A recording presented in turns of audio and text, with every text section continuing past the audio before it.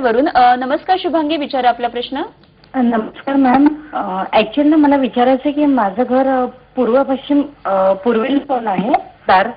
पण मला हे विचारायचं की नॉर्थ पूर्वेला बरोबर आहे का? आणि नॉर्थ ईस्ट माझं किचन आहे. तर ते योग्य आहे का? बरं सर तुम्हाला विचारायचं आहे ठीक आहे. थँक्यू मॅम ठीक आहे ठीक आहे. त्यांचा जो दरवाजा आहे तो पूर्वेकडे आहे.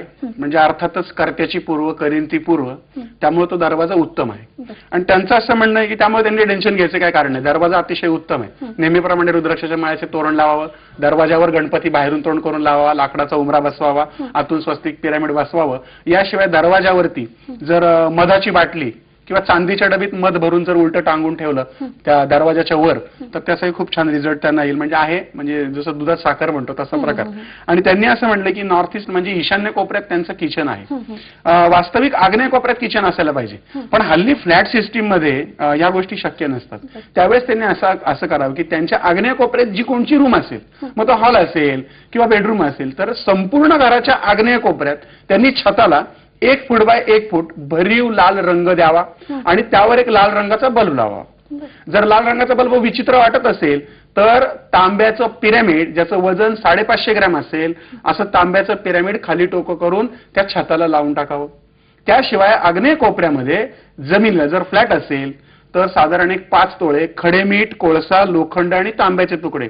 शुभंगीताईंना मी पुन्हा एकदा सांगतो खडेमीठ कोळसा लोखंड आणि तांब्याचे तुकडे साधारण पाच ते दहा तोळ्याच्या दरम्यान चालेल पाच सात दहा. त्या आग्नेय कोपऱ्यामध्ये खड्डा करून पुरून टाकायचं आहे. नॉर्थ ईस्ट कोपऱ्यात जरी मग किचन असलं तरी टेन्शन नाही कारण आपण आग्नेय कोपऱ्यात अग्नितत्वाची निर्मिती करून तिथे अग्नितत्व निर्मिती केल्यामुळे ईशान्येचं हे अग्नितत्व काम करणार नाही. असं खरं खूप इंटरेस्टिंग तोडगी उपाय आहेत ना. उपाय. मला सांगा ना की जसं की डोळा आपला समजा दिसत नाही चाळीशीचा लागतो मग चष्मा लावतो ना आपण. कुठला डॉक्टर असं म्हणत नाही तुम्ही एक काम करा डोळ्यात बसून घ्या. आपण त्यासाठी चष्मा हा उपाय करतो. मग आता ते इकडचं तिकडं घ्यायचं त्याच्यामध्ये जो खर्च त्यातलं ते पाणी तिकडं न्यायचं ते ड्रेनेज लाईन शक्य नाहीये. त्यामुळे ह्या छोट्या छोट्या उपायाने आणि हे उपाय अनुपमा जी पौराणिक आहेत. हे धर्म म्हणजे वेगवेगळ्या धर्मशास्त्रांमध्ये आणि वास्तुग्रंथांमध्ये लिहिलेले उपाय म्हणजे आपले ऋषी मुनी त्या काळात किती प्रगल्भ होते? आता खडेमीठ कोळसा लोखंड आणि तांब्याचे तुकडे जर बघितलं तर हे आर्थिंगचं मटेरियल आहे. हो हो. आणि जर न्यूट्रल कट असेल खांबावरची आणि आर्थिंग चांगला असेल तर घरातल्या लाइट पेटतात. म्हणजे तिथे एक फेस तयार होतो. म्हणून आग्नेय कोपऱ्याचा अग्नीचा फेस तयार होतो. म्हणजेच हे शंभर टक्के ना विज्ञानाभिमुख आणि म्हणूनच हे अ, अंधश्रद्धा नाही तर हे शास्त्रावर शंभर टक्के शंभर टक्के. तुम्हाला आपल्याबरोबर आश्चर्य वाटेल श्रीयंत्र वास्तुशास्त्र या विषयावरती आपण अंधश्रद्धा अंधश्रद्धा म्हणून ओरडत बसतो पण परदेशात याच्यावरती संशोधन चाललेलं आहे.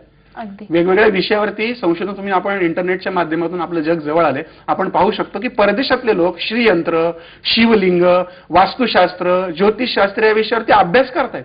बरोबर. आश्चर्य आणि आपण ओढत बसले आपलं शास्त्र